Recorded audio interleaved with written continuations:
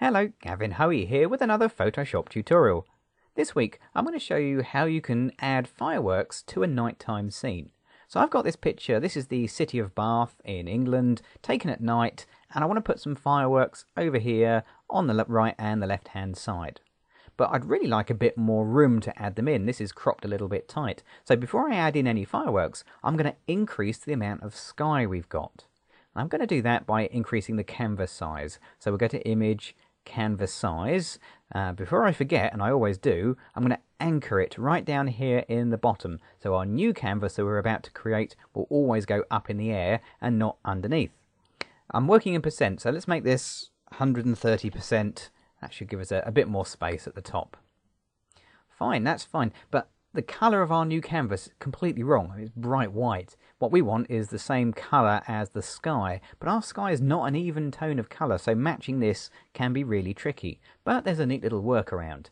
Let's grab the rectangular selection tool, and we'll just take the top rectangle, just the very top slither of sky, around about there, like that. And we're going to go to Edit and choose Copy, then back to Edit and choose Paste. Now nothing seems to have changed on the picture, but if we have a look at the layers, you'll see where we cut and paste, or copied and paste, we've added in that little thin slither of sky. And now if we go to Edit and choose Free Transform, I can stretch that bit of sky all the way up in the air like that. There we go.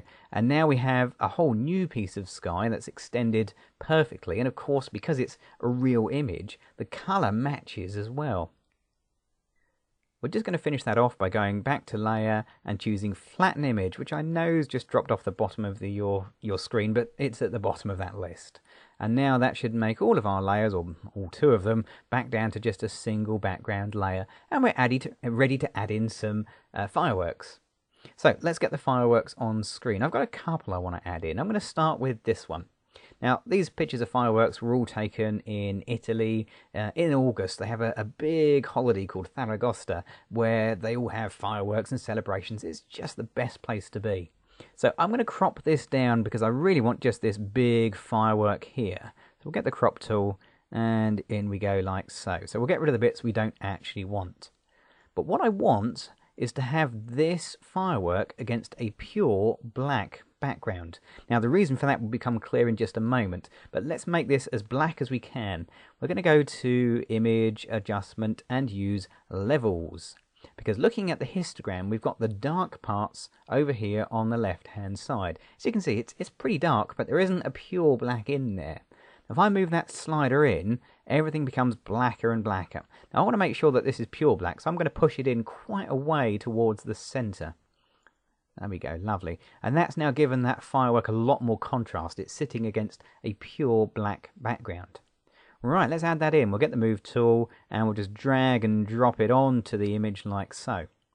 Now that's fine. Let's close down the original actually because it's going to clutter the screen otherwise. There we go. That's fine, and we can put this anywhere we like, but you can see that black background is, well, it's kind of obvious, isn't it? So what are we going to do to remove it? Well, we could erase it. We could get the eraser tool and go all the way around the edges. Uh, that would take a heck of a long time, so I'm not going to do that. You could grab the magic wand tool and try and select all the black bits. Again, haven't really got the patience for that. Now, the reason we did this against a pure black background is because the layers has a special trick up its sleeve. There's the firework on its own separate layer. We change the blend mode. Let's just bring this across a little bit so we can see it. Bring that over there. There we go. We change the blend mode, currently set to normal, let's change it to screen. And look at that. The firework suddenly becomes transparent. All the black disappears, but all the colour remains. Now that's the magic of screen blend mode. Anything pure black becomes completely transparent. Okay, so now we can move this around and I can just push it into the corner where I wanted it to go like that. Now I've got another set of fireworks, so let's add those in as well. Here we go. I'm going to do the same thing as before, image, adjustment, and levels. And again, push these levels down like so. Lovely. Now don't be afraid, if you can't get it pure black, you can always grab a paintbrush. Uh, make sure it's a black paintbrush, otherwise it doesn't work. Just paint away any bits you don't want, like the smoke that we've got coming off the fireworks there run it around the edge, make sure it's pure black. Lovely, okay, and we can just drag and drop that in as well. Here we go. And close down the original like so. Now again, these are on their own layer because that's what Photoshop does when you drag and drop. So again, we can change the blend mode onto screen and the fireworks become transparent. Lovely.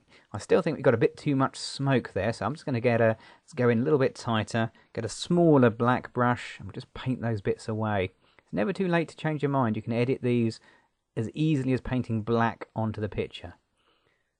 Lovely. Okay, so there we go. Um, last thing, I think maybe the colours. It, the, the kind of the fireworks are the same colour.